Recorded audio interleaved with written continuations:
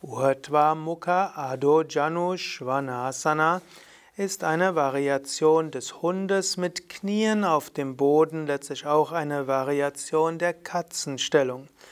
Komme zum Vierfüßlerstand und schaue dabei nach oben. Urdhva Mukha heißt, du schaust nach oben. Und Adho Janu heißt die Knie unten und Svanasana ist der Hund. Ist also einfach eine andere Bezeichnung für entweder Pithilasana, die Kuh, oder auch die rückbeugende Katze, Marjaryasana.